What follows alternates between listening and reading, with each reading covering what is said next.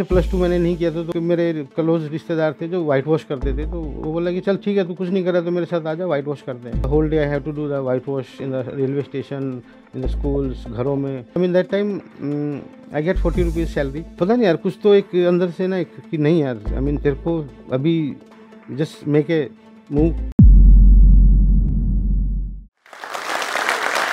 hi screen पे जो painting है आपको दिखाई दे रही है, अनारकली। श्रीदेवी मधुबाला राजेश खन्ना अमिताभ बच्चन बड़े बड़े अमिताभ बच्चन। क्या आपको पता है इन पेंटिंगों को बनाने वालों की क्या कहानी होती है?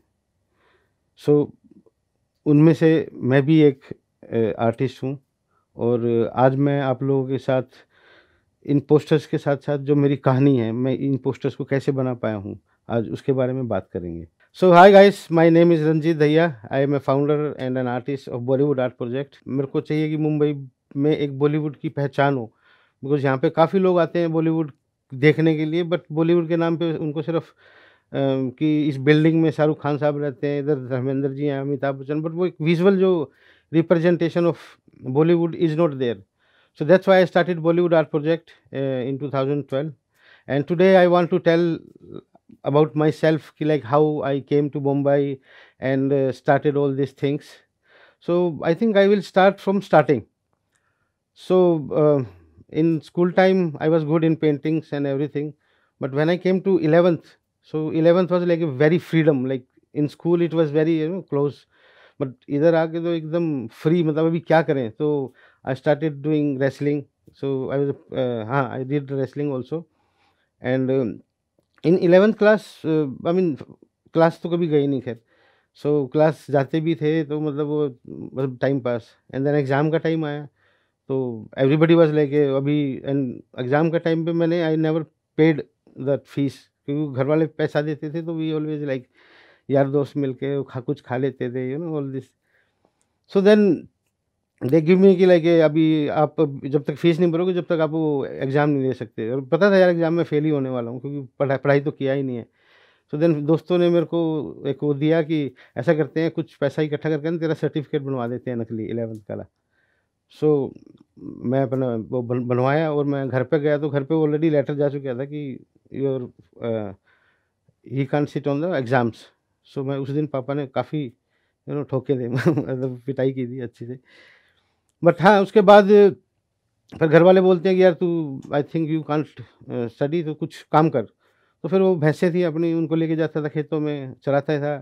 फिर उधर ही वो और भी मिलते थे जो भैंसे लेके आते थे। तो इट वॉज़ लाइक वो तीन महीने किया, पर मेरे डैडी थोड़ा सा नाराज़ थे। मतलब ये तू, अभी तेरा टाइम है पढ़ने का and you are not doing anything तो उसी बीच में मैं एक मेरे क्लोज रिश्तेदार थे जो वाइट वॉश करते थे तो वो बोला कि चल ठीक है तू कुछ नहीं कर रहा तो मेरे साथ आ जा वाइट वॉश करते हैं so that day I mean that time I get forty rupees salary and the whole day I have to do the white wash in the railway station in the schools घरों में। सो I think वो एक डेढ़ साल मैंने वो पूरा काम किया। सो so, एक दिन मैं स्कूल के अंदर वाइट वॉश कर रहा था तो मैंने, वो प्रिंसिपल थे, उन्होंने पूछा कि आपको पता है कि कोई सरस्वती माता का पिक्चर बना सके स्टार्टिंग में? तो मैंने बोला कि सर, मैं बना सकता हूँ। बिकॉज़ आई हैड एक थोड़ा सा कॉन्फिडेंस क्योंकि I was good in school in painting so then I principal sir ने पैसा दिया मेरे को कि ये लो पेंटर लेके आओ। एंड मैंने वो आई थिंक दस दिन में मैंने वो सरस्वती माता का पिक्चर उधर बनाया। उसको बनाने के बाद मैं आई गॉट मोर कॉन्फिडेंट कि यार मैं तो मतलब I can become a painter I mean ये तो मैं अभी वाइट वॉशर ही हूँ। तो मैंने तो अपनी शॉप चालू की, एक पेंटिंग की। उसमें मैं I use to paint autos buses trucks school के facade shops then I met one of my school friend so then he ask me like अरे रंजीत, क्या कर रहे तू? मैं उनको यार पेंटर हूँ। आई हैड लाइक दो डब्बे हाथ में और यू नो तो यार तू तो बहुत अच्छा आर्टिस्ट था। तो यार अभी भी आर्टिस्ट ही हूँ। बोलता, नहीं यार, तू why don't you try for fine arts so उस दिन उसने मेरे को फाइन आर्ट्स के बारे में बताया। तो फाइन आर्ट्स वो बोलता कि you will become a lecturer if you will be in fine arts तो मेरा यार वो चीज़ ना कहीं पे अटक गई। So then I search for कि फाइन आर्ट्स है क्या चीज़? तो उसमें देखा कि उसके लिए तो प्लस टू चाहिए, बारहवीं क्लास चाहिए आपको। तो बट वो चीज़ मेरे अंदर पता नहीं क्यों, एक ना अटक गई कि नहीं, अभी तेरे को फाइन आर्ट्स ही करनी है। So then I search for the कि इसमें एलिजिबिलिटी क्या क्या चाहिए, कितने परसेंट मार्क्स चाहिए, उसमें प्लस टू में क्या, किस तरह के टेस्ट आने वाले हैं। तो आई सर्च एवरीथिंग एंड उसके ऊपर मैंने काम करना चालू कर दिया कि मेरे को तो अभी फाइन आर्ट्स में ही जाना है। तो जो जो मेरे अंदर जैसे प्लस टू मैंने नहीं किया था तो I applied in open national open school so उधर से मैंने प्लस टू किया। हाँ उधर पास हुआ then I applied for fine arts and then you know I clear my test in Delhi college of art also and Chandigarh college of art then I join Chandigarh college of fine arts in two nineteen ninety eight so that was like कि I came out from my village and अभी शहर है तो I was like I was feeling very like एक थोड़ा सा वो felt out नहीं कि गाँव का आया तो मेरी लैंग्वेज भी हरियाणवी बोलता था, मैं ठेठ हरियाणवी।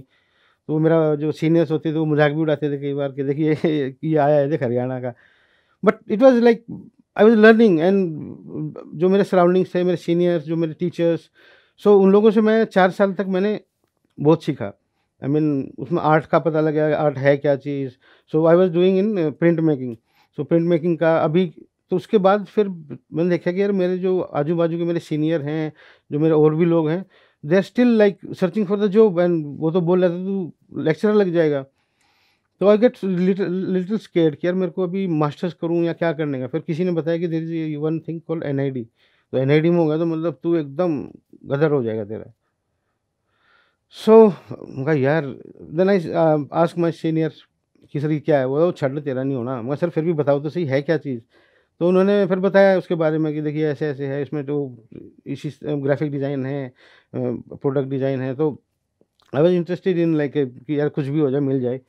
तो applied first time and but I didn't get you know through it मेरा कुछ हुआ नहीं उसमें। सो आई वॉज़ लाइक कि यार क्या आई मीन मेरे से ये हुआ नहीं।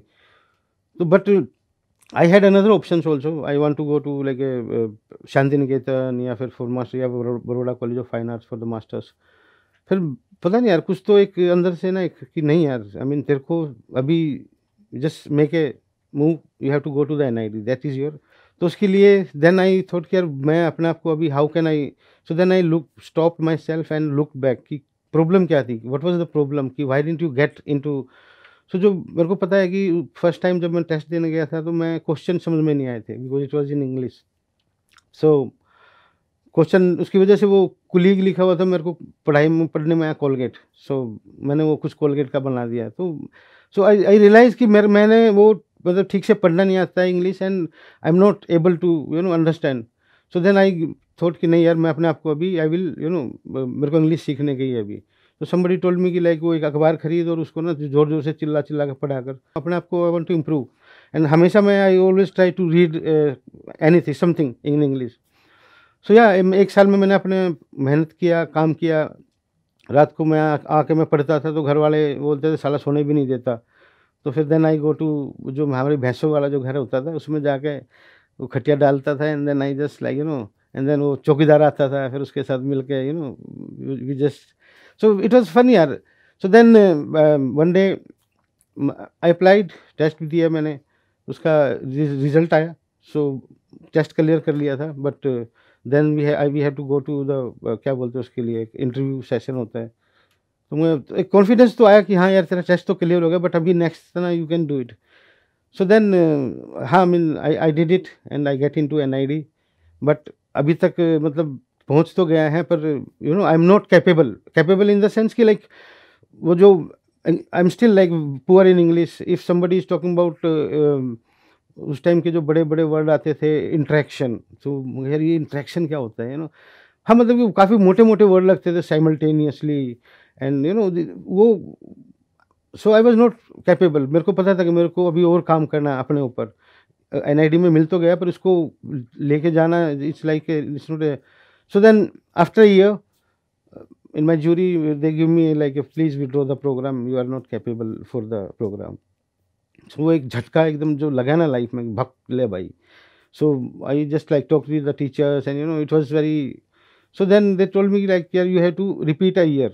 So so i told them sir if i'm not capable i am totally you know agree to repeat the year and you know to get more understanding about what i am studying so then वो एक साल का मेरा जो repeat था फिर again I went in so but i learned a lot in that because that time it was for me it's it मतलब मेरे को सीखना है then i did my english speaking course course classes and you know lots of things and then in 2007 i got you know uh, passed from nid still then i came in 2009 i came to mumbai for a job in mouthshut.com so उधर I was a user experience designer so but हाँ मतलब job अच्छा था यार I mean I started So 2009, 10, and हाँ 2010, uh, I was roaming around in Bandra, and you know, job का एक साल हो चुका है, and I very like frustrated, and I saw like somebody is like projecting something and you know uh,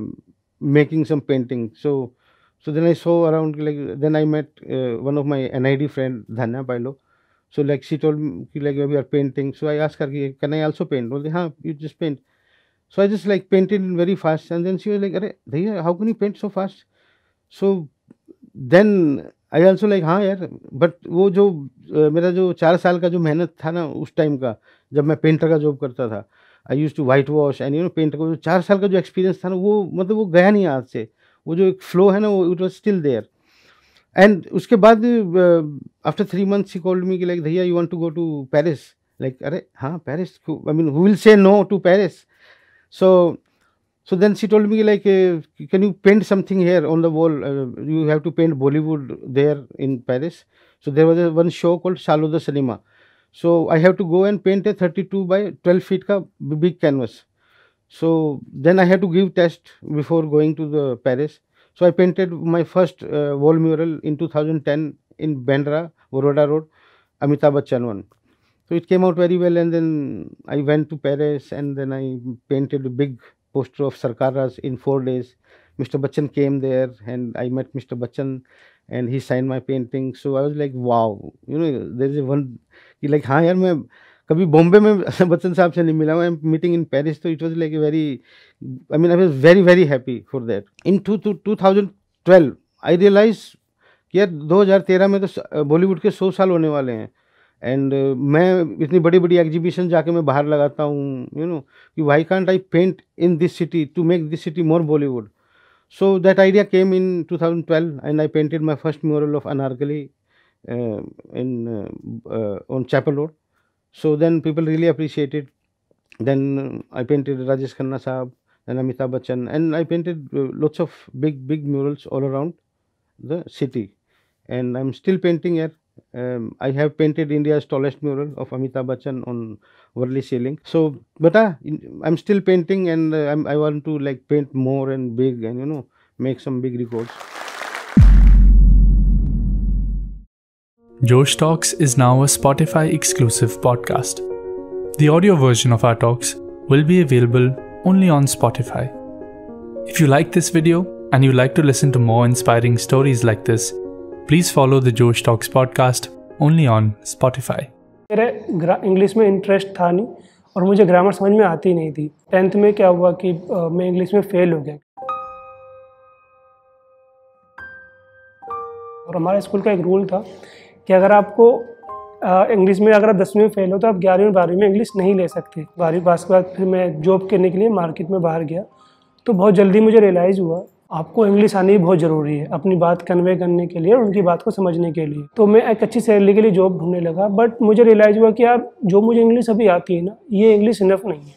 क्योंकि मैं सिर्फ़ एक बेसिक इंग्लिश जानता था, लेकिन एक हाई प्रोफ़ाइल कंपनी में, एक अच्छी सैलरी में जाने के लिए आपको एक फ्लुएंसी चाहिए इंग्लिश में, जिसमें आप अपनी बात को बहुत ही फ्लुएंसी में कह पाएँ।